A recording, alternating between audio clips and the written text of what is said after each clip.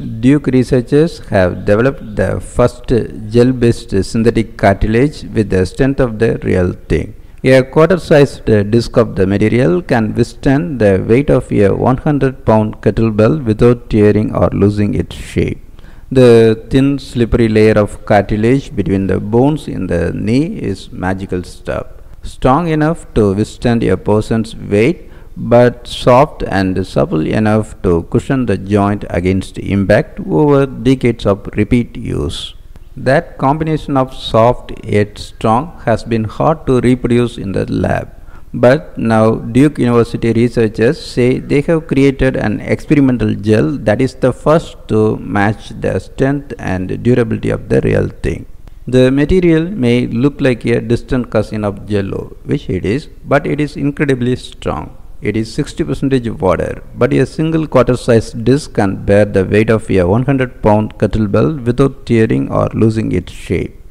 Its developers say it is the first hydrogel capable of withstanding tugging and heavy loads as well as human cartilage without wearing out over time.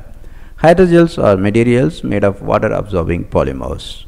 The research could one day offer people with knee troubles a replacement for damaged cartilage and an alternative to the 600,000 knee replacement surgeries performed in the US each year a smooth rubbery tissue that covers the ends of bones and enables them to glide smoothly against each other. Cartilage helps absorb a huge amount of force with every step, typically between 2 and 3 times your body weight.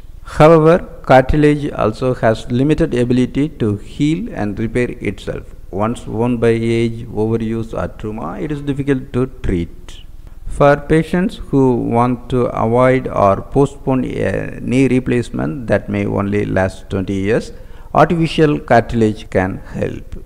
Hydrogels have been explored for use as cartilage substitute since the 1970s and are used in soft uh, contact lenses and disposable diapers. Researchers are attracted to these materials because of their slippery shock absorbing properties and because they don't harm nearby cells. But until now they have proven too weak to be used in load bearing joints like the knees. The Duke team set out to change that.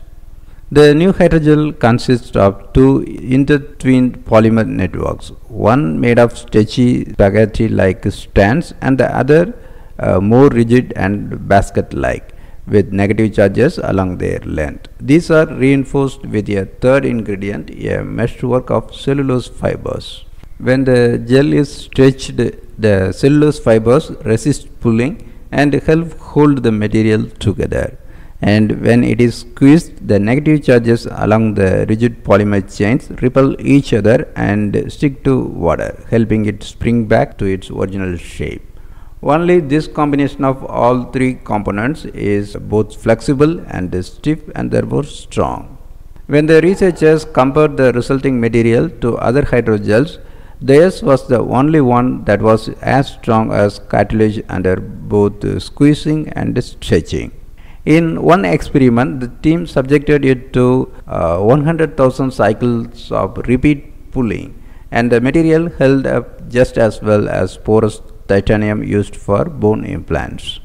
They also rubbed the new material against natural cartilage a million times. They found that uh, its smooth, slippery, self-lubricating surface is as wear resistant as the real thing and four times more wear resistant than synthetic cartilage implants currently FDA approved for use in the big toe.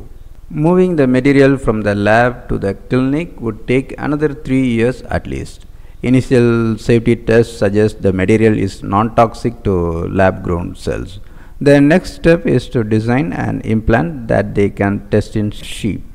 But the team says eventually the research could offer new options for people with knee pain and get them back to doing the things they love without the long recovery times and limited lifetime associated with cartilage repair or knee replacement surgery.